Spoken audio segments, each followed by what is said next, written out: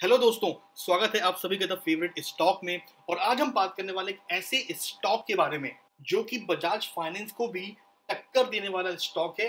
अब देखिए बजाज फाइनेंस जो है, वो इतना महँगा स्टॉक है कि बहुत से लोग खरीद ही नहीं सकते। लेकिन दोस्तों, मैं जो आपको स्टॉक बताने जा रहा हूँ, वो उसी कैटेगरी का स्टॉक है प्लस बहुत ही सस्ती प्राइस पर अवेलेबल है। तो दोस्तों, अगर हम बात करें उसके रिटर्न की तो रिटर्न के मामले में बजाज फाइनेंस को भी वो टक्कर दे सकता है। ऐसा स्टॉक है। सारी बातों पर दोस्तों हम डिस्कस करने वाले हैं। लॉन्ग टर्म में उसने कितना रिटर्न दिया, उसके शेयर होल्डिंग पैटर्न कैसे हैं? वेबसाइट पर जाकर उसके प्रोडक्ट भी हम देखने वाले हैं कि वो क्या क्या चीज़ें सेल करता है, क्या काम है उसका। प्लस दोस्तों, हम उसकी चार्ट को भी डिस्कस करने वाले हैं।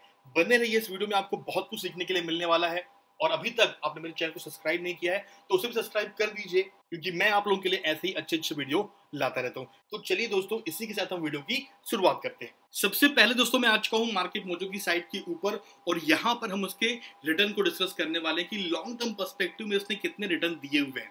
देखिए पेंडेमिक का टाइम अभी चल रहा है। वन वीक वन मंथ का अभी रिटर्न आपको कितना कम दिखाई दे रहा होगा नेगेटिव दिखाई दे रहा है। ये इतनी अच्छी अपॉर्चुनिटी यहाँ पर क्रिएट हुई है, जिसका फ़ायदा हमें ज़रूर उठाना चाहिए।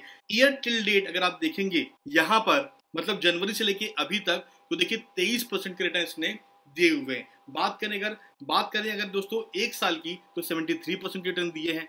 तीन साल का रिटर्न आपको नेगेटिव दिखाई दे रहा होगा, उसके पीछे का रीजन भी है, मैं आपको बताऊँगा। लेकिन पाँच साल देखिए, पच्चीस परसेंट, दस साल देखिए, एक सौ ग्यारह परसेंट। कितने अच्छे दोस्तों यहाँ पर हमको दिखाई दे रहे हैं। चलो इस तो आगे बढ़ते हैं और इसके कुछ फंडामेंटल पॉइंट्स को देख लेते हैं। दोस्तों स्टॉक का नाम क्या है? बहुत ही जल्द आपको पता चल जाएगा।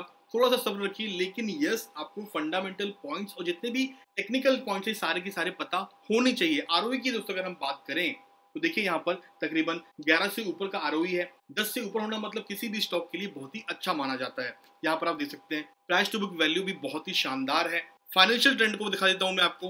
मार्केट मोजो का दोस्तों एक बहुत ही अच्छा फीचर है, क्योंकि वो एक फाइनेंशियल ट्रेंड को दिखाता है कि अभी पॉजिटिव है या फिर या फिर फ्लैट है या फिर नेगेटिव है। तो यहाँ पर अगर आप देखेंगे तो पॉजिटिव दिखाई दे रहा होगा। मतलब दोस्तों इसका ये है कि अभी का टाइम जो है फाइनेंशियली इसका ट्रेंड जो है, वो पॉजिटिव है। ये एक अच्छा साइन है। अब कौन सी कंपनी है ये? चलिए ये भी देख लेते हैं। दोस्तों, कंपनी का नाम है Shriram transport finance company limited. Yes company दोस्तों फाइनेंस से रिलेटेड है। जैसे कि बजाज फाइनेंस भी है। प्लस बहुत कम प्राइस पर ये अवेलेबल मैं आपको बताता हूँ कितने कम प्राइस पर ये है। लेकिन इसके अलावा दोस्तों, अगर हम ये देखें कि इस कंपनी के प्रोडक्ट क्या क्या है तो आप यहाँ पर देखिए कि ये कंपनी जो है कमर्शियल व्हीकल को फाइनेंस करती है बिज़नेस लोन देती है डिपॉजिट्स है वर्किंग कैपिटल लोन देती है लाइफ इंश्योरेंस देती है, जितने भी फाइनेंस से रिलेटेड चीज़ें होती हैं सभी को ये फाइनेंस करती है लोन देती है और अपने फ़ील्ड में दोस्तों, ये काफ़ी ही रिस्पेक्टेड कंपनी है। आप ये कह सकते हैं कि अगर मैं आपको कुछ चुनिंदा नाम लेने के लिए बोलूँ फाइनेंस इंडस्ट्री में तो श्रीराम का नाम ज़रूर लिया जाएगा। अभी दोस्तों, मैं आपको लिए चलता हूँ टिकट टाइप के ऊपर और यहाँ पर देखिए आप, इस शेयर का जो प्राइस है, अभी चल रहा है बारह सौ सतासी रुपए। एंड हम सभी जानते हैं कि बजाज फाइनेंस पाँच हज़ार के ऊपर का स्टॉक है। तो उसके मुकाबले कितना चीपर स्टॉक है? लेकिन इसका मतलब ये नहीं कि इसकी क्वालिटी में कमी आ गई है। मिड कैप स्टॉक है कंज्यूमर फाइनेंस रिलेटेड इसका सेक्टर है, मैंने आपको ऑलरेडी बताया। एंड बात करें इसकी पी के तो मात्र 12 का दोस्तों पी है। सेक्टर का पी देखेंगे ना तो तकरीबन 33 का है। तो सेक्टर के मुकाबले कितने सस्ते प्राइस पर ये अवेलेबल है? लेकिन यहीं पर दोस्तों रुकने वाली बात बिल्कुल नहीं है, क्योंकि अगर मैं आपको पियर्स पर लेकर जाऊँ तो यहाँ पर देखिए आप बजाज फाइनेंस जो है, उसका पी तकरीबन 76 का है। तो इसके मुकाबले कितने सस्ते प्राइस पर ये स्टॉक अवेलेबल है?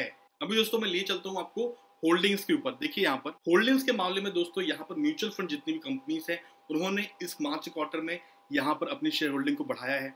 इसके अलावा अगर मैं बात करूँ डोमेस्टिक इन्वेस्टर की तो देखिए उन्होंने भी 3.5 से इसको 4.5 कर दिया है। तो जितने भी बड़े बड़े फर्म्स हैं, म्यूचुअल फंड्स हैं, यहाँ पर अपने होल्डिंग्स को बढ़ा रहे हैं। क्यों बढ़ा रहे हैं? क्योंकि वो जानते हैं कि आने वाले टाइम पर यहाँ पर एक बहुत अच्छी ग्रोथ आना अभी बाकी है। अगर दोस्तों मैं आपको कुछ न्यूज़ की बात बताऊँ तो अभी कुछ दिनों पहले यहाँ पर मोतीलाल ओसवाल ने 1700 तक के टारगेट भी दिए थे, लेकिन यहाँ पर फोरकास्टिंग अगर मैं क्लिक करता हूँ तो देखिए आप, तकरीबन 30 एनालिसिस्ट ने यहाँ पर अपने रिपोर्ट को सबमिट किया है, जिसमें से 83 परसेंट लोगों का ऐसा कहना है कि अभी यहाँ पर बाय कर सकते हैं और जो टारगेट प्राइस दिया है, उन्नीस का दिया है आने वाले एक साल के अंदर। ऑल ये भी हो सकता है कि इससे कम टाइम पर ही इस टारगेट को अचीव कर ले।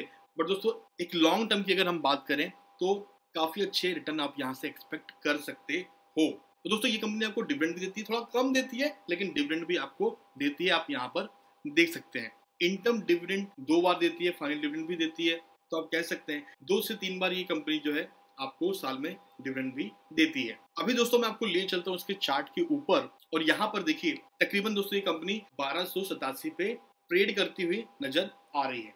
एंड डेफिनेटली अगर हम बात करें यहाँ से तो सीधा सीधा हमको यहाँ पे साढ़े तीन सौ से चार सौ पॉइंट का एक अपसाइड दिखाई देता है, क्योंकि इसका जो रिसेंट टाइम का ही हाई है, वो तकरीबन 1600 के प्राइस से ऊपर का ही है। तो दोस्तों फंडामेंटली भी ये स्टॉक स्ट्रांग है। मैंने आपको होल्डिंग्स भी दिखाई, मैंने आपको चार्ट भी दिखा दिया रिटर्न्स भी दिखा दिए कंपनी कैसा काम करती है, ये भी दिखा दिया। आपको क्या लगता है कि क्या ये कंपनी बजाज फाइनेंस को टक्कर दे सकती है? मुझे कमेंट बॉक्स में ज़रूर बताइएगा। और क्या आपको भी लगता है कि ये कंपनी अच्छे खासे रिटर्न देकर आपको प्रॉफिट कमा कर दे सकती है या नहीं? प्लीज़ मुझे कमेंट बॉक्स में ज़रूर बताइए। वीडियो पसंद आए तो वीडियो को लाइक करना ना भूलें। ना पसंद आए तो डिसलाइक भी कर सकते हैं। चैनल पर जाकर और भी वीडियो को ज़रूर चेकआउट कीजिएगा। यहाँ तक वीडियो देखने के लिए आप सभी का बहुत बहुत धन्यवाद। मिलते हैं बहुत जल्द अगले वीडियो में।